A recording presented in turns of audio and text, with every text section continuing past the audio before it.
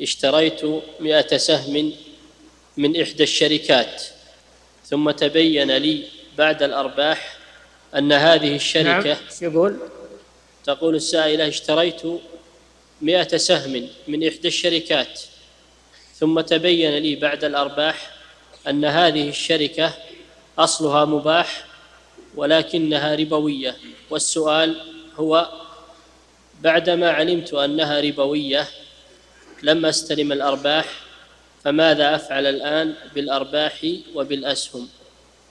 كان سألت من قبل الإنسان يسأل عن الشيء من قبل أما بعد ما يتورط يروح يسأل هذا صعب. والأسهم فيها اشتباه وفيها جهالة فيها غرر فيها أمور كثيرة. اللي يريد أنه يكتسب ويبيع ويشري يبيع بالسلع الواضحة اللي ما فيها إشكال. أبرأ لذمته وأحسن. وما دمت حصل هذا أو دمت إن كان ذكر حصل هذا تتوب يتوب إلى الله عز وجل. وما قبضه من الربا يتخلص منه بأن يعطيه لمحتاجين يتخلص منه. وما لم يقبضه يتركه. ما لم يقبضه يتركه يأخذ رأس ماله فقط. نعم.